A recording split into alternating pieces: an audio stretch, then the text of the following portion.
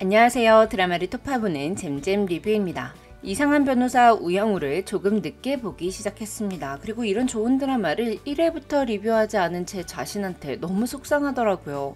많은 분들이 영우 엄마에 대한 궁금증이 가장 크긴 하시겠지만 전 이건 나중으로 미루고 첫 번째 우영우 리뷰는 고래 이야기를 하기로 결정했습니다. 영우는 바닷속에서 자유롭게 헤엄치다가 갑자기 육지로 나온 고래기 때문에 고래 이야기가 꼭 필요한 상황이에요. 고래에 담긴 소름 돋는 숨은 의미와 제작진의 의도를 토파보는 영상 시작합니다. 책 읽는 걸 좋아하는 편인데도 불구하고 모비딕은 참 읽기 힘든 책 중 하나였습니다. 아니 고래의 생태에 대해 동물학 논문처럼 자세하게 묘사를 하고 있기 때문에 아 내가 이런 것까지 알아야 하나 싶을 정도로 고래에 대한 수많은 정보가 쏟아지거든요. 이상한 변호사 우영우 이 드라마도 고래에 대한 다양한 지식을 뽐내고 있습니다. 영우가 좋아하는 고래는 영우와 참 많이 닮아 있어요. 그래서 고래에는 이상한 변호사 우영우 이 드라마가 시청자들에게 전하고 싶은 메시지가 담겨 있죠. 물론 이 메시지는 제 개인적인 해석이므로 맞다 틀리다라는 정답의 유무를 밝혀야 하는 문제가 아닌 거 아시죠? 여러분들의 다른 생각도 자유롭게 댓글로 남겨주세요. 고래는 바다에서 가장 큰 생물이고 가장 넓은 이동 반경을 가진 동물입니다. 또한 고래는 바다에 살지만 어류가 아닌 포유류에 속하죠. 어류와 비슷한 모습을 하고 있지만 숨쉬는 법부터 어류와는 판이하게 다릅니다.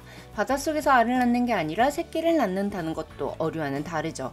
즉 고래는 바닷속에서 특별한 소수입니다. 영우 또한 세상 속에서 소수자에 속하죠. 하지만 바닷속에 사는 여러 생물들은 모양과 크기, 식성 모든 것이 달라 달라도 서로를 배척하거나 나와 다르다고 해서 남다른 시선으로 바라보지 않습니다. 그저 조화롭게 각자의 자리에서 각자의 역할을 하며 살아가죠. 또한 고래는 물개나 바다표범 같이 바다와 육지를 왔다 갔다 하며 사는 게 아닌 물에서만 살아 수중 생활에 가장 잘 적응한 표율이라고 하는데요. 깊은 바다에 살면서도 고래는 아가미로 호흡하는 대신 한 번씩 호흡을 하기 위해 수면 위로 높이 솟구쳐요. 하지만 해양 생물들도 그럴 것이고 사람들까지도 고래를 유별난 별종으로 취급하지는 않습니다. 그저 바다에 사는 포유류라 그런 거야. 고래는 고래지. 라며 고래를 있는 그대로 받아들이고 포용하죠. 펭수 안에 있는 사람을 궁금해하는 대신 그냥 펭수는 펭수다 라고 받아들이는 것처럼요. 영어는 육지에 나온 고래입니다. 그리고 육지에 사는 한바다 사람들은 각자의 방식으로 영어를 받아들입니다. 장애인이 변호사를 하기 어려울 것 같다는 부정적인 편견을 대놓고 드러내 아, 이 사람은 악역인가 보다 라고 생각했던 정명석은 영어의 능력을 단 1회 만에 인정하고 자신의 편견을 사과해요.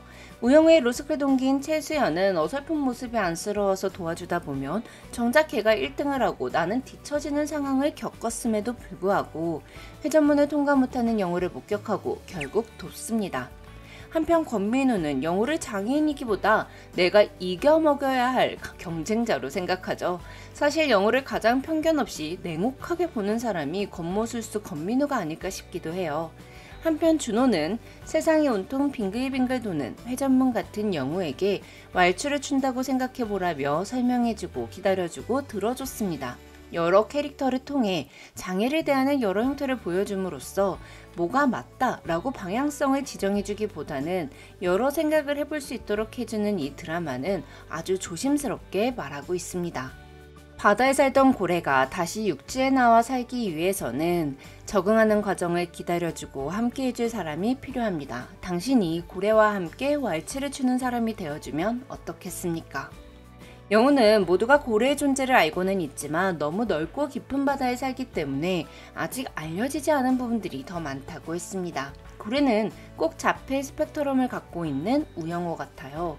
개인적으로 자폐아라는 말은 많이 들어봤어도 자폐 스펙트럼이라는 진단명은 생소했습니다. 자폐인을 막연히 하나로 묶어 생각해왔던 것 같아요. 자폐니까 자폐를 갖고 있는 사람과 더 대화가 잘 통할 거라고 생각한 명석처럼요. 명석이 나쁜 사람이어서가 아닙니다. 다만 무관심했기 때문이죠. 살면서 자폐 스펙트럼을 갖고 있는 사람과의 만남이 거의 없었기 때문이기도 할 겁니다. 사실 일상생활에서 그들을 마주하지 못한다는 것 자체가 우리 사회가 얼마나 단절되어 있는지를 보여준다고 할 수 있습니다. 세상에 얼마나 많은 종류의 고래가 있는지 우리는 모르죠. 영우가 고래에 대해서 잘 알고 있는 건 암기력이 특히 뛰어난 천재이어서기도 하지만 고래에 관심을 가지고 있기에 가능한 일이에요. 자폐 스펙트럼의 다양성에 대해 정확히 인지하지 못했던 것이 잘못이라고 할 순 없어요. 하지만 모르는 것을 대했을 때 그것을 정확히 알지 못하면서도 마치 알고 있는 듯이 행동하는 건 실수가 아니라 잘못 아닐까요? 장애를 가진 사람에겐 당연히 지불 능력이 없을 거라고 장애를 가진 사람과 함께 있다는 건 봉사활동 중일 거라고 영우를 보는 사람들의 편견 어린 시선과 그 시선을 고스란히 마주하는 영우를 보며 불편한 감정을 느꼈고 준호가 후배의 실수를 후배의 잘못으로 바꿨을 때 맞아 맞아 그거 실수가 아니라 잘못이지 라고 고개를 끄덕였음에도 불구하고 제가 그 상황이었어도 크게 다르게 행동하진 않았을 것 같다는 반성을 많이 하게 되더라고요. 드라마는 자폐 스테트럼을 갖고 있는 사람은 지능이 낮기 때문에 상처를 받지 않을 거다라는 편견을 갖고 말을 조심하지 않는 사람들도 보여주었습니다. 사람은 누구나 상처를 받아요. 영우가 자신의 의뢰인에게 도움이 되지 않는 변호사라는 생각 때문에 한바다를 그만두려 했던 것처럼요. 해류의 묵직한 몸을 맡긴 채 바다를 유영하는 고래 밑으로 들이우는 시커먼 그림자에는 보이지 않는 상처들이 머물러 있습니다. 오래 사는 고래의 몸에는 따개비가 붙어 있는데요. 따개비는 단순히 고래의 몸에 붙은 것이 아니고 살점 깊숙이 뿌리를 내려 고래와 함께 산다고 해요. 붙어 있던 따개비가 떨어지면 고래 몸에 평생 지워지지 않는 둥글고 흰 자국이 낙인처럼 찍히죠. 자폐 스펙트럼을 가졌다 해서 상처를 받지 않는다는 건 아니라는 거. 전 이 이야기도 고래를 통해서 하고 싶었다고 생각합니다.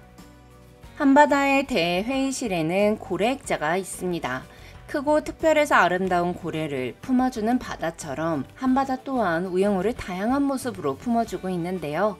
내가 오늘 울산 앞바다에서 마주친 고래는 어제 마주친 고래와 다른 고래일지 모르고 내일 제주도에서 마주칠 고래 역시 오늘 마주친 고래와는 다를 수 있습니다. 수많은 고래를 하나의 집단으로 묶어 판단하기엔 그 종류와 수가 너무도 다양한데 인간은 어떻겠어요? 단지 장애를 가졌다는 이유로 하나로 묶이기엔 그들은 너무나도 다른 개별적인 개인입니다. 드라마 제목은 이상한 변호사 우영우지만 드라마가 끝날 때쯤이면 특별한 변호사 우영우라고 인식하게 될 것 같은 기분이 드는 거 저만 느끼는 거 아니죠? 그럼 전 이상한 변호사 우영우 5회 리뷰로 찾아뵐게요. 지금까지 드라마를 투파보는 잼잼 리뷰였습니다. 감사합니다.